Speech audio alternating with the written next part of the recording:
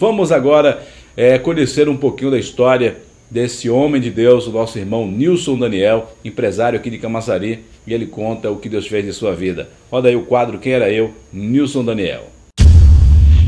Olá, meu nome é Nilson Daniel Rodrigues, é, sou natural do Rio de Janeiro e estou aqui para contar a minha história de vida para vocês, o que Deus fez na minha vida.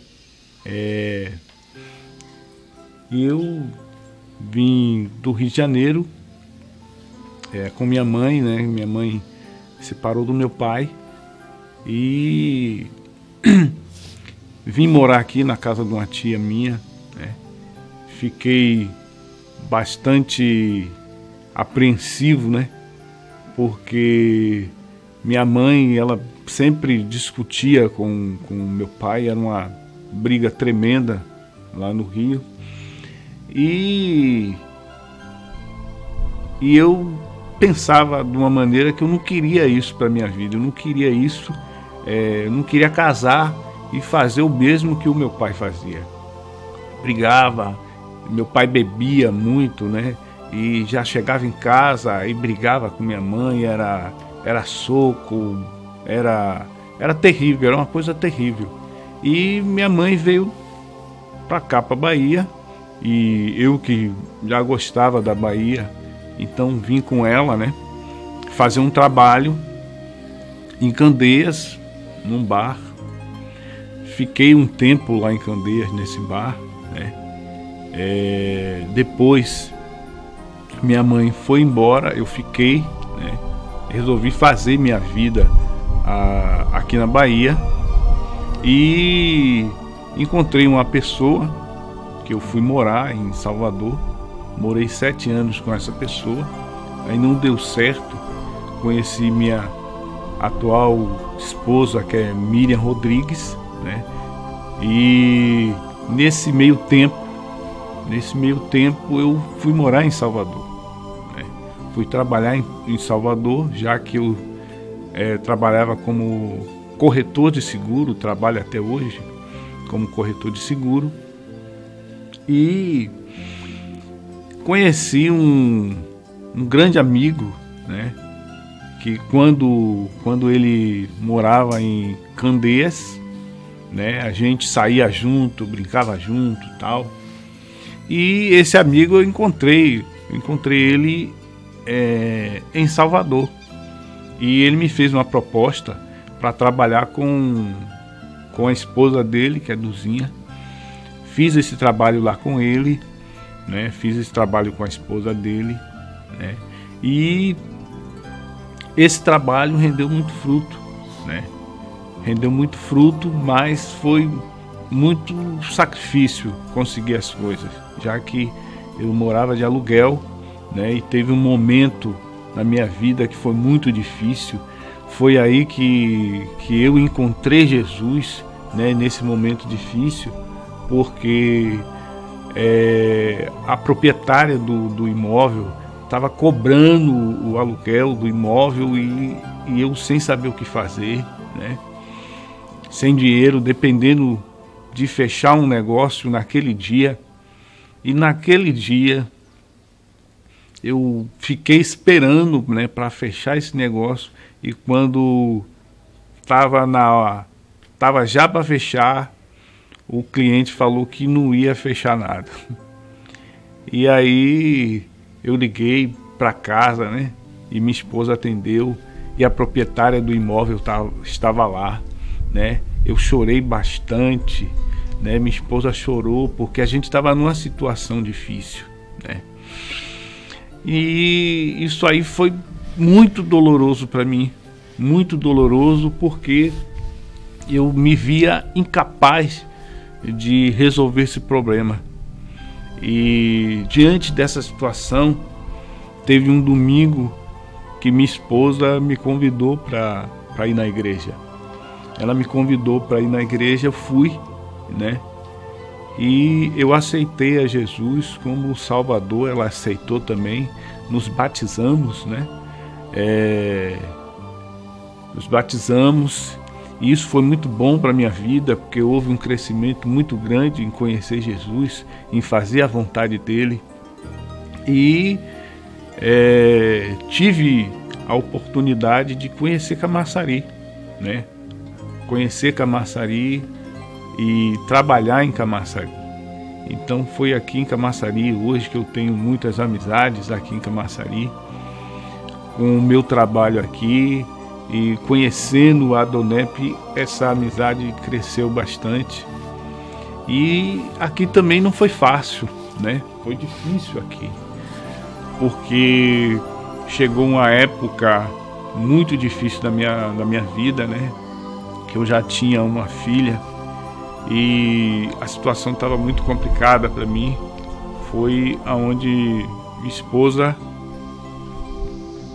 onde minha esposa ela foi morar na casa da mãe dela, se separou, né? Houve uma separação, nossa. Isso foi super complicado porque é, eu briguei com a família dela, né? discuti porque eles estavam protegendo ela e eu achei que estava protegendo e briguei com a família. Só não, nunca toquei a mão nela, mas briguei com a família dela, foi uma confusão terrível, né? E fiquei aqui em Camaçari, morando, morando só, sofrendo muito, trabalhando muito, né? É, trabalhava super alegre, chegava em casa e chegava em casa eu chorava de tristeza, né? Mas eu sempre confiei em Deus, né? Eu sempre confiei em Deus que Deus ia dar uma solução. E eu no tempo eu estava morando no Parque das Mangaba, onde congregava lá com o pastor Osmário, né? E eu pedi a Deus uma palavra. Pedi a Deus, Deus me deu uma palavra. E um certo dia eu fui, fui capinar o terreno da igreja, um terreno que a igreja tem, né? E eu chorando com a enxada, capinando. Aí a enxada pegou em alguma coisa assim que era de, de, de vidro, né? E aí eu fui ver o que era. Aí quando eu limpei uma pecinha de, de porcelana, quando eu limpei assim, eu vi que Deus estava falando comigo através daquela peça, porque naquela peça estava escrito, né? Eu sou Deus que te seguro pela mão direita. Aí eu chorei muito, chorei muito mesmo, porque Deus estava falando ali comigo, né? Deus estava falando, falou forte comigo. Então eu fiquei sabendo que Deus estava comigo. Aí eu trabalhando muito, fundei a Enia Lanche, que hoje vai fazer 10 anos, né? E, e eu nunca desisti, né? Eu queria ver minha filha, era uma confusão tremenda. E comecei a orar a Deus, comecei a buscar, era trabalho para a igreja, de igreja para o trabalho, dormir, né? E isso foi muito sofrido para mim, mas hoje, hoje eu, ve, eu vejo isso como uma, uma lembrança para contar para quem está assistindo, para você não desistir do seu objetivo, né? Que hoje as pessoas falam em, em crise, mas não creia nessa crise, creia que Deus está com você. E eu passei por essa situação. Eu tinha eu tinha uma geladeira, né, em casa. Eu, eu pensei falei, para que eu quero geladeira? Só eu mesmo. Vendi essa geladeira, comprei um, um balcãozinho de vitrine coloquei no ponto que eu estou até hoje lá. Aí fui comprando, comprei Vendi aquela geladeira, comprei um balcão, aí fui comprando equipamentos para a geladeira que Deus foi me suprindo ali. E fui trabalhando e num belo dia é, minha esposa conversou comigo e nós retornamos. E nesse retorno nasceu Rebeca, uma menina linda, né, que eu amo. E E Deus foi me dando o que eu não tinha. Deus foi me dando hoje, eu tenho uma, uma casa para morar, né? Não pago aluguel, né? Hoje minha esposa é uma bênção na minha vida. E é isso que eu falo. Você tem que crer que Deus tem o melhor para você. E hoje minha vida eu me sinto assim muito grato a Deus pelo que ele tem feito por mim a todo tempo. E eu peço para vocês buscar esse Deus, porque esse Deus é que faz todas as coisas, né? Esse Deus é um Deus maravilhoso. Busque esse Deus que vocês não vão se arrepender.